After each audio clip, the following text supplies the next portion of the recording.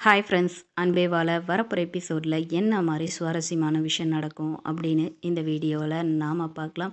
வருண் எந்த அளவுக்கு பூமி மேலே அன்பு பாசமும் வச்சுருக்காரோ அதே அளவுக்கு அவங்க அம்மா மேலேயே வச்சுருக்காரு நீங்கள் நினச்சிங்கன்னா நம்ம வீடியோக்கு ஒரு லைக் பண்ணிக்கோங்க. ஸோ பார்வதிக்கு உடம்பு சரியாமல் ரொம்ப தவிப்போட ரொம்ப கஷ்டப்படுறாங்க அப்படின்ற விஷயம் தெரியுது.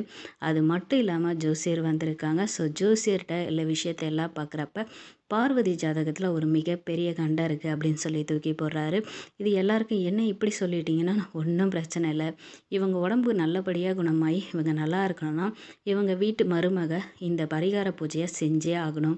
இந்த பரிகாரத்தை கட்டாயம் இவங்க பண்ணணும் அப்படின்ற நிலையில் வந்து சொல்கிறாங்க ஸோ இதுக்கு வருணும் சரி கண்மணி எப்படியாவது பண்ணி நம்ம அம்மாவை நல்லபடியாக காப்பாற்றணும் அப்படின்ற நிலையில் தான் இருக்காங்க. ஸோ அவர் சொன்ன விஷயங்கள் எல்லாத்தையும் பண்ணிடணுன்றதுல ரெண்டு பேர் இருக்காங்க. ஸோ ரெண்டு பேருமே கோயிலுக்கு போய் சாமி கும்பிட்றாங்க வருண் என்னன்றாருன்னா எப்படியும் எங்கள் அம்மாவை நல்லபடியாக காப்பாற்று இந்த பரிகார பூஜையை நாங்கள் நல்லபடியாக செஞ்சுருவோம். எங்கள் அம்மா நல்லபடியாக ஆரோக்கியமாக இருக்கணும் அப்படின்னு வருணை வேண்டிக்கிறாரு.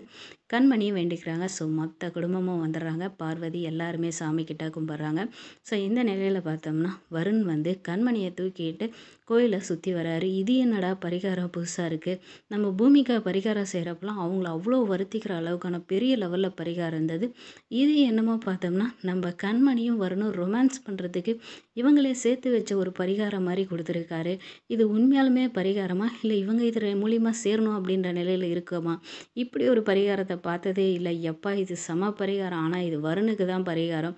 ஏன்னா கண்மணியை தூக்கிட்டு சுற்றுற ஒரு பெரிய பொறுப்பை கொடுத்துருக்காங்க அப்படின்றதாங்க சொல்லணும். ஸோ இது மூலியமாக நம்ம பார்வதி உடம்பு மட்டும் இல்லை நம்ம வருணும் சரி கண்மணியும் சேர்ந்தால் செம சூப்பராக இருக்கும். அது கடவுளோட ஆசீர்வாதத்து மூலியமாகவே ரெண்டு பேருமே வந்து ஒருத்தருக்கு ஒருத்தர் பக்கத்தில் இருக்கிற மாதிரி ஒரு பரிகாரத்தை செய்கிறது மூலிமா அவங்களுக்குள்ள ஒரு அன்பு வரும்னு எதிர்பார்க்கலாம். வெயிட் பண்ணி பார்ப்போம் என்ன நடக்குது அப்படின்னு. இந்த வீடியோ உங்களுக்கு பிடிச்சிருந்தா லைக் பண்ணுங்கள் மறக்காமல் சேனலை சப்ஸ்கிரைப் பண்ணுங்கள் தேங்க்ஸ் ஃபார் வாட்சிங்